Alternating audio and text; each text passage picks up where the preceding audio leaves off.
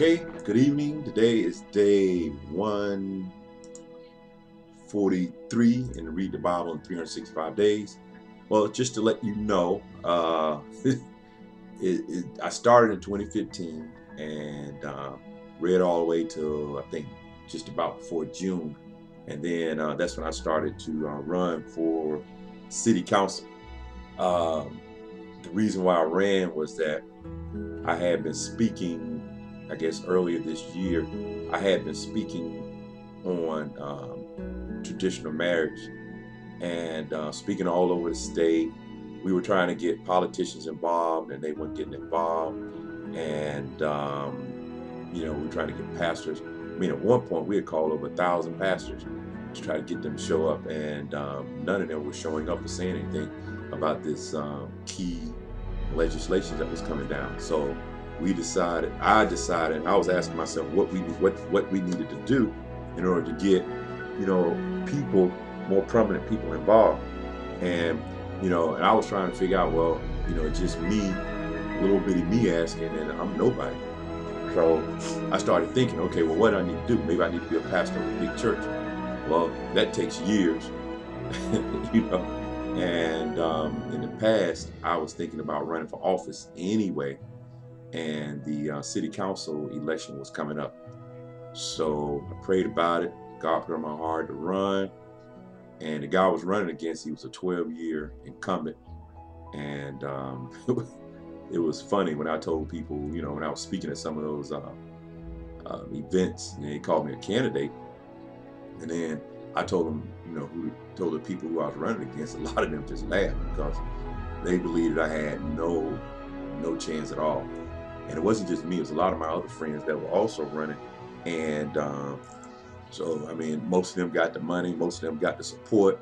Me, you know, it was just, okay, it's a good little thing you're running and you get some good experience, but next time, you know, we'll, you'll win next time. So, make a long story short, um, ran, um, he got 48%, I got 28%, and then we had two other people. So the way we do it here is unless you get 50 plus 1, then you don't you don't you don't win. You have to do a runoff. So we went into a runoff. Uh, God turned everything out. I mean, everything went, everything fell in place. You know, I prayed about it, asked him what to do next, and uh, he gave me step by step by step. It was amazing. I never ran a campaign before. This was my first time. Yet everybody tells me I made the right steps, and everybody now looks at me like I'm an expert. But to make a long story short, uh, I won. I won by 20 votes uh, 880 to 900. So I'm now city council in um, the city of Montgomery, Alabama.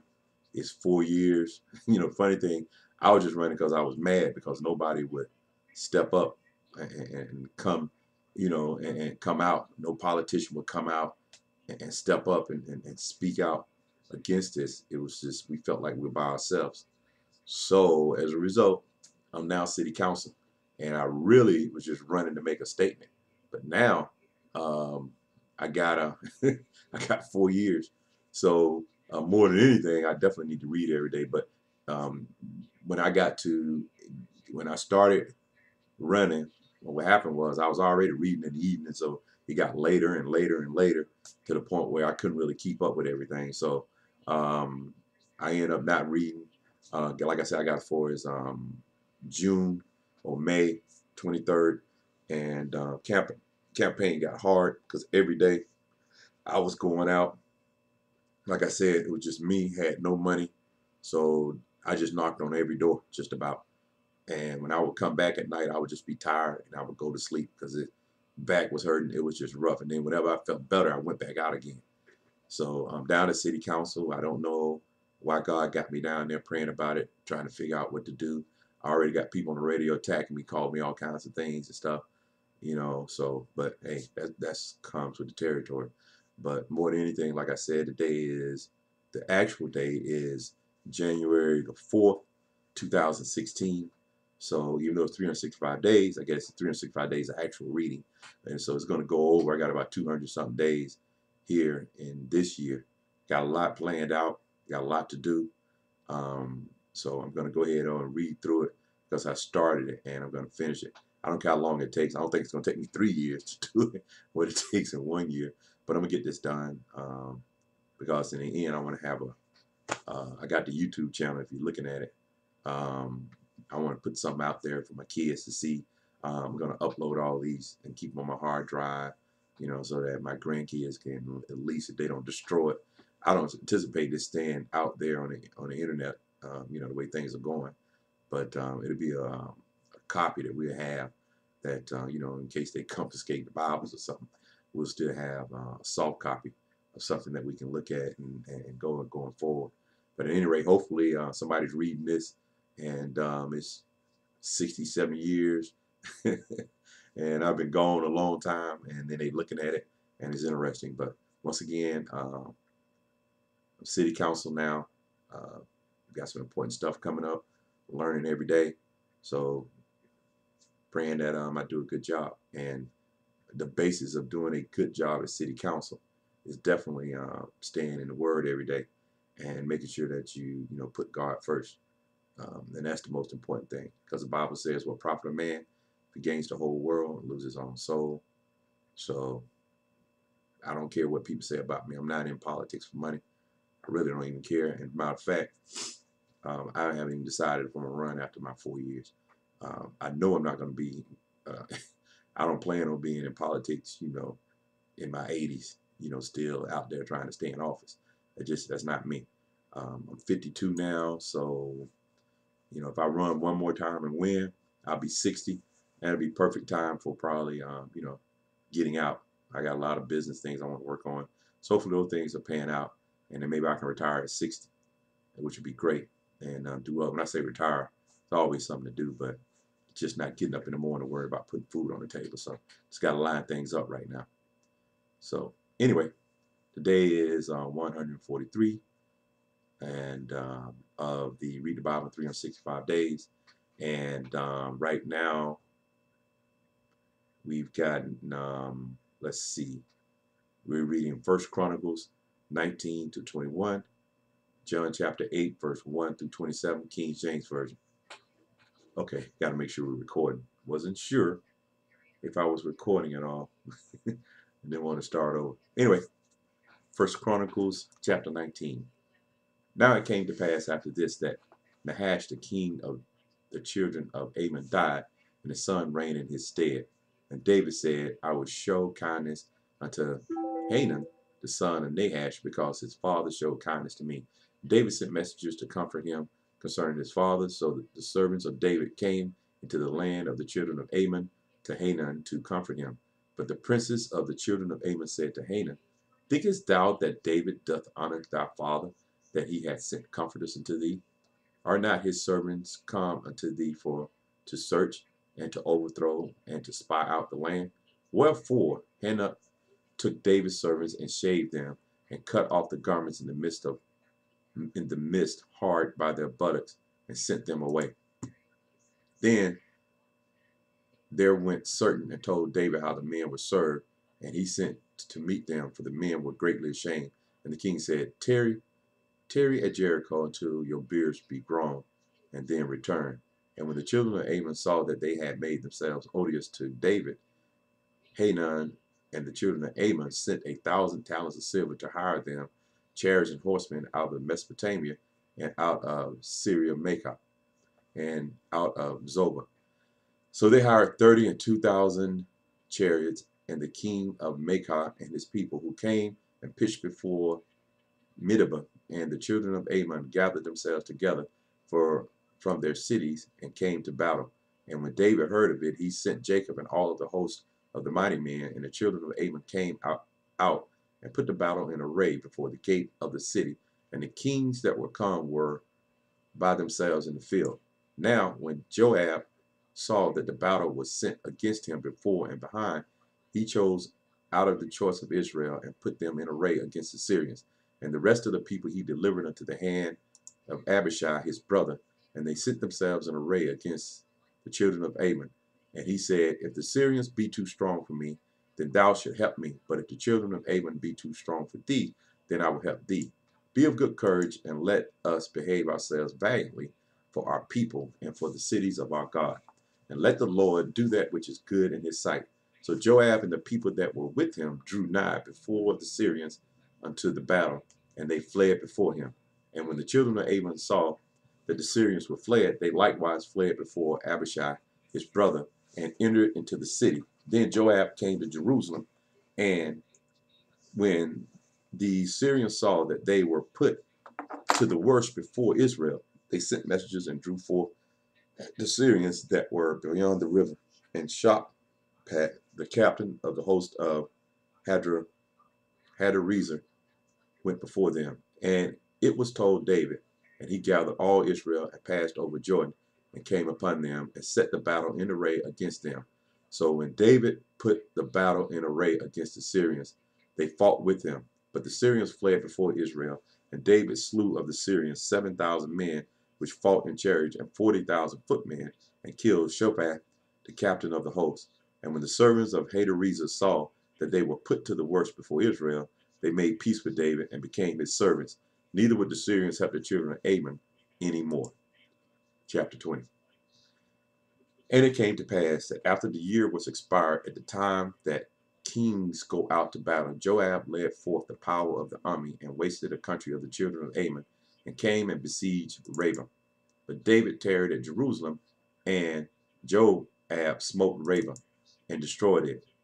And David took the crown of their king from off his head and found it to weigh a talent of gold. And there were precious stones on in it, and it was set upon David's head. And he brought also exceeding much spoil out of the city. And he brought out the people that were in it and cut them with saws and with harrows of iron and with axes. Even so dealt David with all the cities of the children of Ammon. And David and all the people returned to, Jerusalem. And it came to pass after this that there arose war at Gezer with the Philistines, at which time Sibbecai the Hushathite slew Sippai, that was of the children of the giant, and they were subdued. And there was war again with Philistines, and Elhanan, the son of Jair, slew Lahmi, the brother of Goliath, the Gittite, whose spear staff was like a weaver's beam. And yet, again, there was war at Gath. There was a man of great stature, whose fingers and toes were four and twenty six on each hand, and six on each foot. And he also was the son of the giant. But when he defied Israel, Jonathan, the son of Shimea, David's brother, slew him. These were born unto the giant in Gath, and they fell by the hand of David and by the hand of his servants. Chapter 21. And, and Satan stood up against Israel and provoked David to number Israel. And David said to Joab and to the rulers of the people, Go, number Israel from Beersheba even to Dan, and bring the number of them to me, that I may know it. And Joab answered, The Lord make his people an hundred times so many more as they be. But my lord the king, are they not all my lord's servants?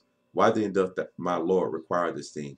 Why will he be a cause to trespass, a cause of trespass to Israel? Nevertheless, the king's word prevailed against Joab. Wherefore Joab departed and went throughout all Israel and came to Jerusalem. And Joab gave the sum of the number of the people unto David and all they of Israel were a thousand thousand and a hundred thousand men that drew sword. And Judah was four hundred three score and ten thousand men that drew sword. But Levi and Benjamin counted he not among them, for the king's word was abominable to Joab. And God was displeased with this thing, therefore he smote Israel.